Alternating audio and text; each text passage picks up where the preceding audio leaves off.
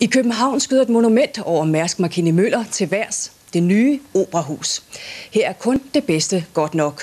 Og det bedste er to regionale virksomheder, som vi besøger i dag og i morgen. Det her det er Operahuset, og som øh, står færdigt den øh, 1. oktober 2004. Jesper Malmborg, Michael Drejer og Michelle Testmann er fra Lolland og afsluttede for to år siden multimedieuddannelsen på IMA i Nakskov. Straks efter startede de eget reklamebureau i byen, og nu er de afdelinger i både Nakskov og København.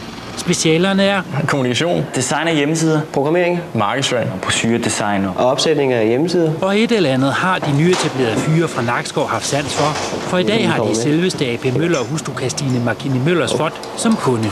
For AP Møllerfonden, der har vi lavet øh, hjemmesiden, øh, Operaprojektets hjemmeside, og vi har lavet en øh, brochure, og vi har lavet en plakat. Ordren er kommet via underdirektør Bo Vilfang, der har det overordnede ansvar for opførelsen af det nye operahus. Vi fandt ud af, at det var nødvendigt med en hjemmeside. Og så kiggede vi os omkring, hvem kan lave en hjemmeside for os? Og det kunne ProPeople.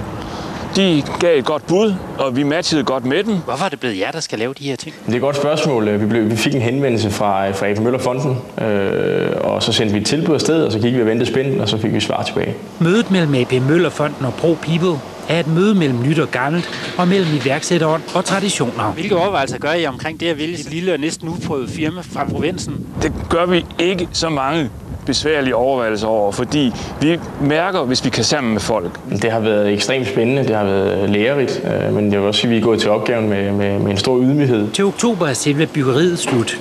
Så bliver operahuset overdraget til Kulturministeriet og det kongelige teater, og første opgave for fonden slutter. Nu skal vi til de små rå, vores serie om unge og deres opførsel. Men det er ikke kun de unge, det handler om.